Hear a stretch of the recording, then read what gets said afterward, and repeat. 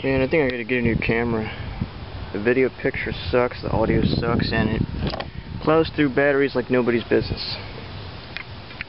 But anyway, as a, a pretty silly intro, I think I'll call this mini bike update number two.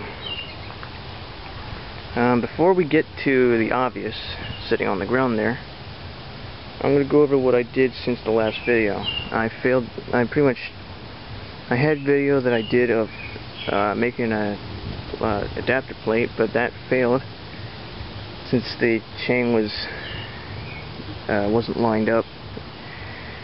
So um, let's see if I can get through this quickly.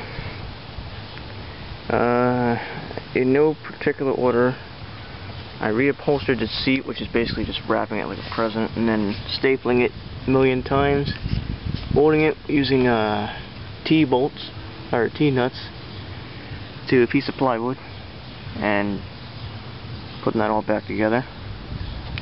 I, um, uh, this is recent. I re remade a new plate, which actually works a lot better.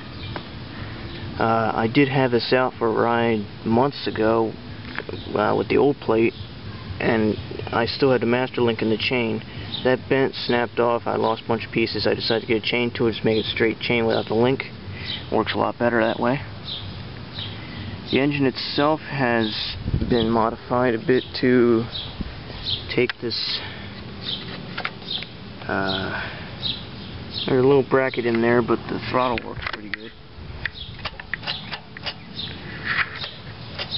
and I kind of broke in the cable finally so it's actually going back all the way that's really just a, a little L bracket in there that I made using this stuff over here. Bent it drilled a hole through put, found an old uh, bike brake conduit end whatever. Fished it through that little hole in there and used a cable stop and attached a spring here to keep the tension because it doesn't go back all the way. Um, I flipped the recoil all the way around I'm not I'm not really gonna do the same on that though just because I like everything being right side up what else did I do? I, uh, oh yeah, I got new grips, new brake cable, which is all held to the frame by hose clamps, and pretty much mocked up the, or I was able to free up the old caliper, uh, so that works all fine. I made a new bracket that was longer. You used the old spring, kept the new clevis, and all this stuff, and recently got it so it floats but it still doesn't stop very well. What can you do? But anyway, I've been taking this on multiple test runs. Oh yeah, added a kickstand too, which is took off my old, my brother's old bike, which he no longer uses. So yeah, now a parts machine or parts donor. Clutch works good. This thing is great. I took it on multiple test runs and, uh, oh, you know what? When I started this up uh, in the uh, spring update, I, uh, I forgot to, as I mentioned in the video that it um, had a flooded carburetor. I had to fix that. I had to bend the tab so that the float would close more. Enough interruptions. I took it on test runs over the past few weeks and it does great. It goes about 26 miles an hour through the neighborhood, which is perfect. The only thing I don't like is the acceleration is terrible and it's kind of gutless when you go up hills or try to get over bumps and stuff. So to, to combat that and the poor mounting bolt patterns, I went ahead and I uh, I waited for a good sale at Harbor Freight and they had the parking lot sale this weekend so yesterday I went and Bought myself a 212cc 7 horsepower engine. This is the EPA one, not the shitty California crap. Although it's not much different, it just doesn't have that catalyst thing or whatever it is on the exhaust. It is, however, the newer EPA one where it's got the fuel vapor, which is kind of leaking out the gasket. I don't like that. Um, I, I, I ran it yesterday, put in some good old Quaker State 10W30. Good stuff. Use it in our cars.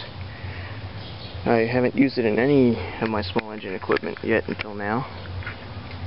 Uh, it was the cheapest 10W30 I could find at Walmart. Even the Super Tech stuff they had was synthetic and it costed more. So I figured, hey, if it's Quaker State, it might not be so bad. Put some gas in it, start it up, and I love it because it only it only starts, it only takes two pulls to start it. Uh, let me get let me get a little take of it uh, running now. Doesn't really take much to take much to start it. I'm just gonna turn the gas on, and the fuel shut off is right uh, next to the carburetor, so it goes in straight away. On that thing, I gotta wait a minute. Set the choke, turn it on, and it and this is not a cold start. I had this running a couple minutes ago.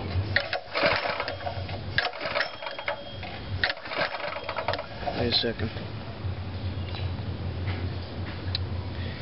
Okay, maybe it does take it a little bit more. Usually it's only two pulls.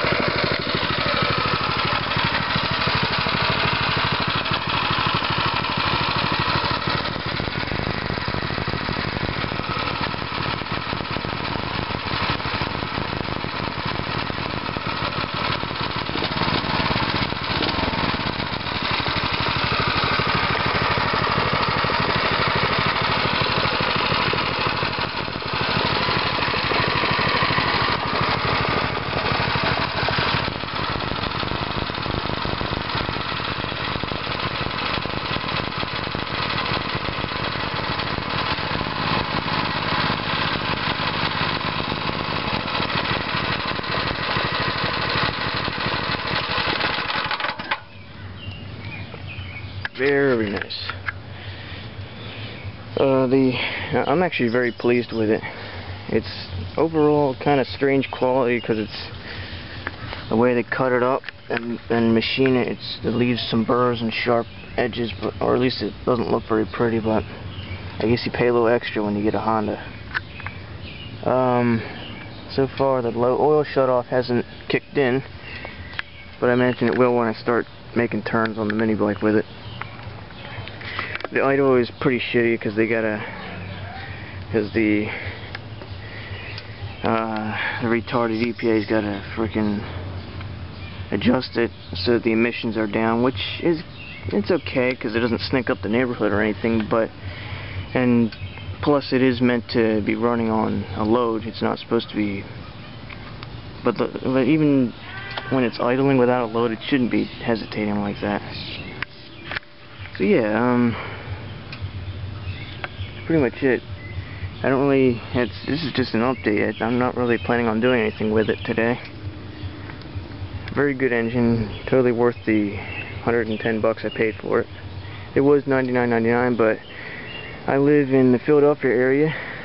I'm actually not quite in Philadelphia, but the sales tax there is 8%, so I to throw on an $8. I thought about getting the uh, the warranty, but I just couldn't afford it. I didn't have the money on me at the time. And really, if something goes bad, it'll go bad within 90 days. I don't really care. Very nice engine. I actually can't wait to put it on here. So, that's where the plans come in. Um, I really can't do anything with it right now. I forgot if I said anything about the brakes, but the problem is they do work, but they don't stop very well. Even if I got the, I finally got the caliper to float. So I had to figure that out. My plan was to get this engine off and just ditch the, the setup on it. Get a new clutch because this one is a 5 8 I need a 3 4 shaft. Um, let's see what else. Uh, I wanted to see if I could figure out a way to put hydraulic brakes on it. There is a setup for that, but it's on. It would have to be mounted on the other side. I'd have to get a different kind of wheel. No matter what I do, it's going to be costing me a, quite a chunk of change. And really, I just hope I can be more careful in the streets instead. But yeah, major plans. Get a bigger clutch. Mount that beast. Got enough torque that tried to jump out of my hands a few times when I revved it yesterday. It's uh, it's not going on the frame quite yet because I still want to break it in. It's you got to run it at a mid to low throttle for three hours and then change the oil and good thing that they only take a pint because that means I can use the rest of this when I change it. So yeah, um, I've already probably made this video about 10 minutes long, so I don't, I really don't want to keep blabbering on. I wish I could get some video of riding this, but uh, I don't know. It's nothing really impressive. I'd rather just wait till I get that engine on there.